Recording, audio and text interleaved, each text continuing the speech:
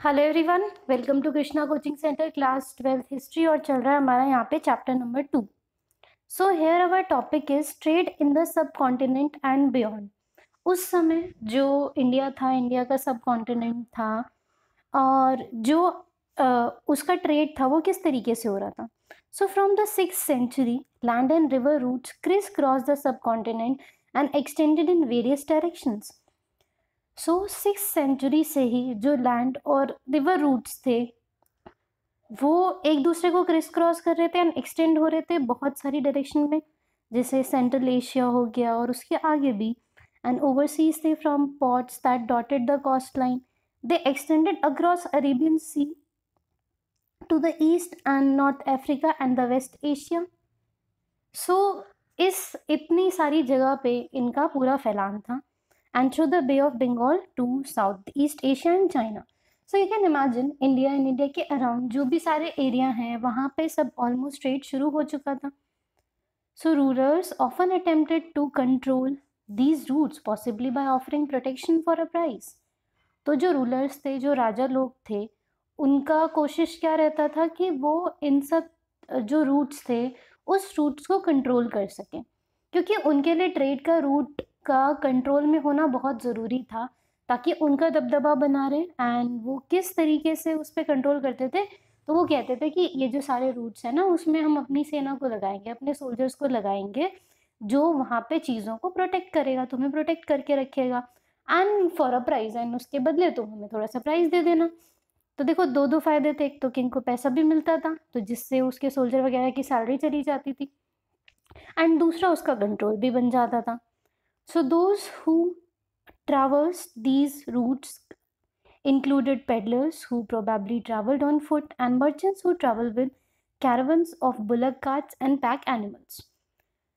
तो ये जो रास्ते थे इस पे कौन कौन ट्रैवल करता था इस पे जो पैदल चलने वाले लोग थे वो भी ट्रैवल करते थे उसके अलावा जो थोड़ा बहुत बुलक कार्ट वगैरह पे एनिमल्स वगैरह पे चढ़ के जाते थे वो भी ट्रैवल किया करते थे so like also there were seafarers यहाँ पे सी फेयरर्स भी थे whose ventures were risky but highly profitable तो जो सी फेयरर्स जो सी uh, में फेरी लगवाते थे आप इसे याद रख सकते हो उसको।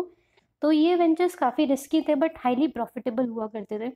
रिस्की कैसे भाई? क्योंकि समुद्र है बीचों बीच कुछ भी हो सकता है। So successful merchants designated as मसत्वन इन तमिल तो जो सक्सेसफुल व्यापारी होते थे, उनको मसत्वम बोलते थे तमिल में। मे बी इसकी प्रोनाउंसिएशन कुछ और हो बट आप इसकी स्पेलिंग ज़रूर याद रखिए। एंड सेठीज एंड सत्थवास को, इसको प्राकृत में बोला करते थे, जो सक्सेसफुल मर्चेंट्स होते थे। So could become enormously rich जो बहुत ज़्यादा रिच हो जाते थे तो a wide range of goods were carried from one place to another एक जगह से दूसरी जगह पे बहुत सारा सामान ले जाया करते थे। जैसे कि सॉल्ट हो गया ग्रेन हो गया क्लॉथ्स हो गए मेटल ओर्स हो गए फिनिश प्रोडक्ट्स हो गए and stone timber medicinal plants बहुत सारे। उसके अलावा स्पाइसेस स्पेशली जो पेपर होता था वो रोमन एम्पायर में काफ़ी डिमांडिंग होता था। So as we textiles medicinal plants इनकी भी बहुत डिमांड रहती थी। सो so, इन सबको ट्रांसपोर्ट किया जाता था across Arabian sea and to the Mediterranean now coins and kings so to some extent जो एक्सचेंज थे they were sorry facilitated by the introduction of coinage तो कॉइनेज का मतलब क्या था कि एक पर्टिकुलर उन्होंने करेंसी टाइप बना लिया, एक कॉइन टाइप बना लिए, जिसके बदले वो ट्रेडिंग किया करते थे। सो टू सम एक्सटेंट जो एक्सचेंज थे, इससे बड़ी आसानी हो जाती थी, क्योंकि एटलीस्ट उन्हें पता होता था कि इस चीज़ के बदले उनको इतना कॉइन्स मिलेगा या कितना कॉइन्स देना है। सो पंच मार्क कॉइन्स आने लग गए जो कि सिल्वर और कॉपर से बनते थे सिक्स सेंचुरी ऑनवर्ड्स में। And they were one among the earliest जो मिंट किए जाते थे कॉइन्स के लिए। मेकिंग टर्म यूज़ नहीं होता मिंटिंग टर्म यूज़ होता है। तो कॉइन्स मिंट करते थे, उन्हें यूज़ किया जाता था। So these have been recovered from excavation at a number of sites तो इसके बारे में हमको कहाँ पे पता चलता है? तो बहुत सारी ऐसी नंबर ऑफ़ साइट्स हैं, जहाँ पे हमने एक्सकेवेशन किया, खुदाई वगैरह करी।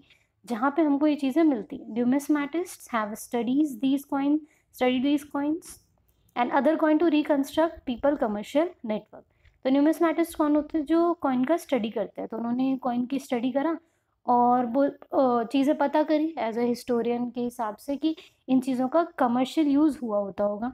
कमर्शियल ख़रीद फ़रोख्त में जो इसकी ज़रूरत होती है। So attempts made to identify the symbol और punch mark coins with specific ruling dynasties including the Mauryas suggest that these were issued by kings तो जो भी सिंबल होते थे या जो भी पंच मार्क होते थे इससे हमें सिंपली पता चलता है कि ये कहाँ पे आ, कौन बनाता था तो ये किंग्स ही जो थे वो इसे इशू किया करते थे। It is also likely that merchants bankers and towns people issued some of these coins तो ये भी चीज़ें हो सकती हैं कि हो सकता है कुछ मर्चेंट्स बैंकर्स और टाउन पीपल भी इशू करें, कुछ इनमें से some of these coins the first coins to bear the name and image of rulers were issued by Indo Greek who establish control over north western part of the subcontinent that is in second century B C E तो जो initial first coins थे, जिसमें असल में हमें name और ruler की image मिलती है। क्योंकि देखो, उससे पहले जो हमें सिक्के मिले हैं, सब चीज़ें मिली हैं, हमें इसमें सिर्फ़ कुछ ना कुछ पंच मार्क मिलता था। हम डायरेक्ट नहीं कह सकते थे कि वो रूलर ने बनाया, क्योंकि उसमें ना रूलर का नाम होता था, ना फ़ोटो होती थी। लेकिन पहली बार हमको रूलर का नाम और फ़ोटो मिलता है एंड ये कॉइन इशू करते हैं इंडो ग्रीक्स जिन्होंने इस्टेब्लिश किया अपना कंट्रोल इंडिया के नॉर्थ वेस्ट पार्ट में, लगभग सेकेंड सेंचुरी में। अच्छा ये तो सब कॉपर और सिल्वर के कॉइन की बात रही पर अगर हम फ़र्स्ट गोल्ड कॉइन की बात करें तो the first gold coins were issued in first century C E by Kushanas तो इनिशियली कॉपर और सिल्वर यूज़ हो रहा था but first century C E यानी कि भाई जिस क्राइस्ट का जन्म हो चुका था बी सी ई नहीं रहा सी ई रहा सी e का मतलब ये एडी होता है।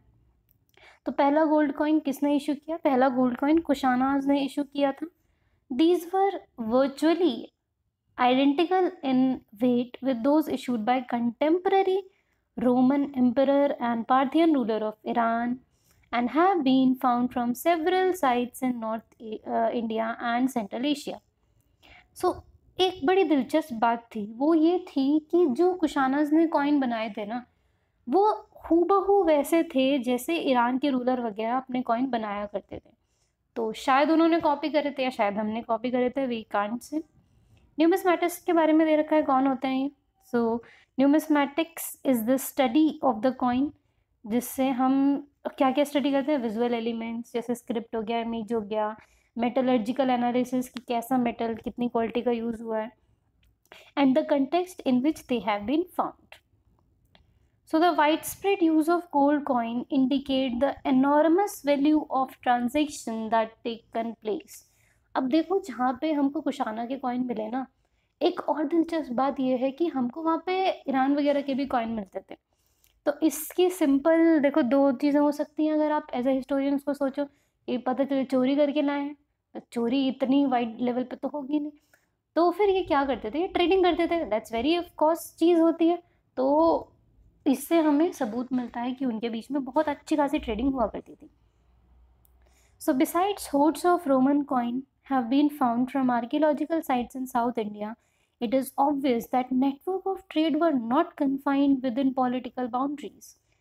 तो जो ये सब चीज़ें थी होर्ड्स ऑफ़ कॉइन मिल रहे थे हमको आर्कोलॉजिकल साइट्स पे साउथ इंडिया पे तो इट इज़ ऑब्वियस कि जो नेटवर्क ऑफ़ ट्रेड था, वो सिर्फ़ पॉलिटिकल बाउंड्रीज तक सीमित नहीं था जैसे आप ये देखो रोमन एम्पायर जो था, वो कभी भी कभी भी साउथ इंडिया का पार्ट नहीं था। लेकिन फिर भी हमें कॉइन्स मिलते हैं तो पता चलता है कि रोमन एम्पायर वहाँ पे ना होने के बावजूद भी उनकी अच्छी खासी ट्रेडिंग साथ में हुआ करती थी। So coins were also issued by tribal republics जो कॉइन्स थे, वो ट्राइबल रिपब्लिक भी इशू करते थे। ट्राइबल रिपब्लिक कौन? Which we have initially seen कि जो ट्राइब के एरिया में एक पूरा बहुत सारा गाँव वगैरह मिलके पूरे अपना कम्युनिटी बना लेते थे। तो ट्राइबल कम्युनिटीज़ कौन कौन सी थी? जैसे योध्ये पंजाब के और हरियाणा के अंदर, जो योधे नाम की ट्राइबल रिपब्लिक ट्राइबल कम्युनिटीज़ का ग्रुप हुआ करता था तो उन्होंने उनके अपने सिक्के होते थे। Archaeologist have unearth several thousand copper coins issued by the Yaudheyas तो आर्कियोलॉजिस्ट ने एक, दो नहीं, कई हज़ार कॉपर कॉइन निकाले हैं। जो कि योध्या यूज़ किया करते थे pointing to the later interest and participation in economic exchanges तो उससे ये पता चलता है कि ये जो बंदे थे, बहुत ज़्यादा पार्टिसिपेट करते थे इकोनॉमिक एक्सचेंज वगैरह में. So some of the most spectacular gold coins were issued by Gupta rulers तो सबसे बेस्ट जो स्पेक्टेक्युलर गोल्ड कॉइन्स थे, वो गुप्ता रूलर्स ने इशू किए थे. ओके सो इनके बारे में हम आगे देखेंगे अपनी अगली वीडियो में. Thank you so much I will meet you all in my next video